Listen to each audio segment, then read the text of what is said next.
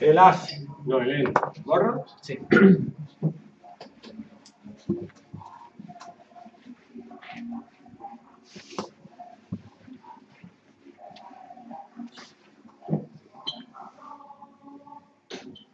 El N ya tiene el tú. Yo no sé si lo han explicado.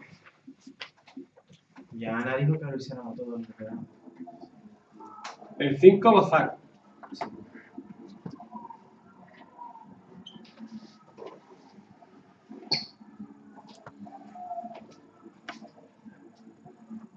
Y esto lo siento mucho, pero. Esto no te lo he explicado. No creo. Vamos, esto es una integral de tipo logaritmo neperiano. Porque es uno partido algo. ¿Vale? Eso debería de ser logaritmo neperiano de lo de abajo. Sí, pero no. A ver cómo, a ver cómo te tragas tú esto.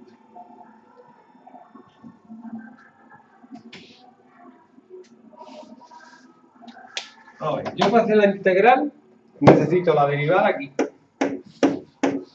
Ah, sí, eso sí. el- ¿Cuál es la derivada de 6 menos 4x? Logaritmo nep- no. La Eh, derivada de 6 menos 4x. Eh, 4x Menos 4. La derivada, la derivada. La derivada. La derivada de 6 menos 4x, ¿cuál es? Pero 6 me da 0. 0 Vale, menos 4. menos 4. Pues la tengo que meter aquí, tiene que estar aquí Y atrás. y aquí no, porque yo no puedo meter números, aquí lo tengo que meter al revés. Y ahora sí puedo escribir.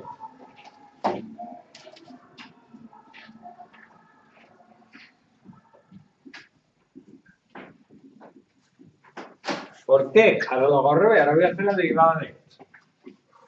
A ver cuál sería la derivada de esto.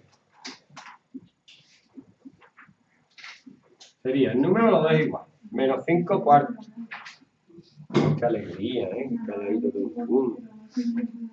mundo trabajando. Por 1 partido, 6 menos 4x, por la derivada de esto, que es menos 4. Y ahora el menos 4 se te simplifica con este menos 4 y te queda.